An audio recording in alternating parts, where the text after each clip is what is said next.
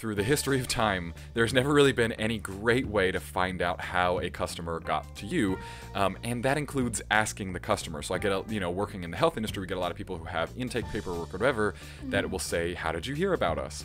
Um, now, I only I believe with a big old grain of salt when someone is checking the box that says Google that they actually heard about you from Google. Um, because I think that so much of the messaging and branding that you put out as soon as you turn to content marketing, as soon as you go digital, uh, becomes very hard to tell exactly where some people come from. There, there are analytics tools I believe in, and we can get into those. But just in general, my thought is that if you're doing a good job of putting your brand everywhere, that it is incredibly actually hard to identify exactly how someone got to you and why they chose to go with you, which is probably even more important.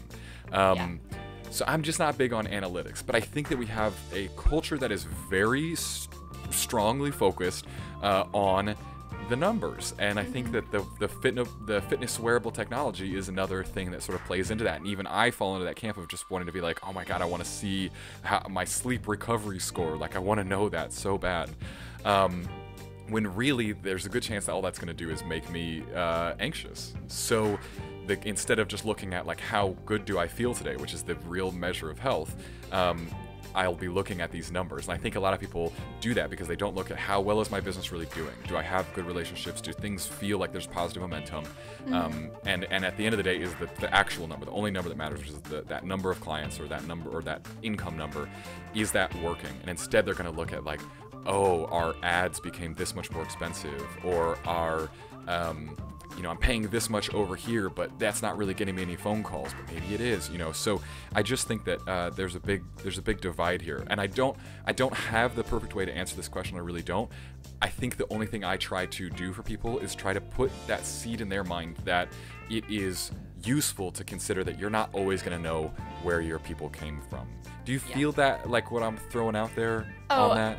absolutely like I feel it to my core because people are like you mentioned in this industry like they're just obsessed with trying to like figure out all of those numbers and all the analytics and I feel like it's because for a while we had to like prove that what we were doing was useful to uh, like their business and I, I kind of hate that because like obviously marketing is useful to your business. Without it you're not like you have to have marketing.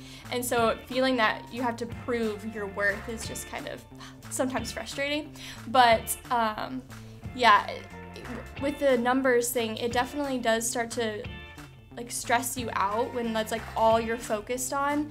Because like when you're mentioning with the watch and all that i've been just like taking in all everything you're saying and i'm like yes yes yes. I i get stressed out when i look at how many views I had on something, or even just Instagram. They're taking away seeing some of the likes because they know people get stressed out by that. Like when you're bringing in all of this information, it's sometimes too much. And the very, like, the most important thing is just realizing, like, am, am I building a true community and am I happy and are my is my following happy and am I doing good am I bringing good like I think that's always more important and like what I like to focus on is like are we actually making a difference here and not really worrying about the fake number of like followers that people have